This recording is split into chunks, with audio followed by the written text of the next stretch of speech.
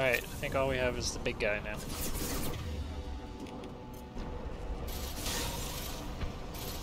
I think I can get him to run away from that point. Oh, he's frozen. He's frozen. Can I even get up there? I don't think I can.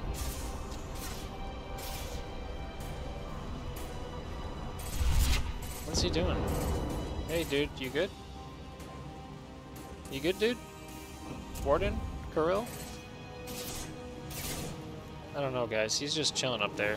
I don't really think we need to shoot at him anymore. Guys, guys. Guys, you don't have to shoot him anymore. He's not a threat. He's just chilling. Alright, let's take him out.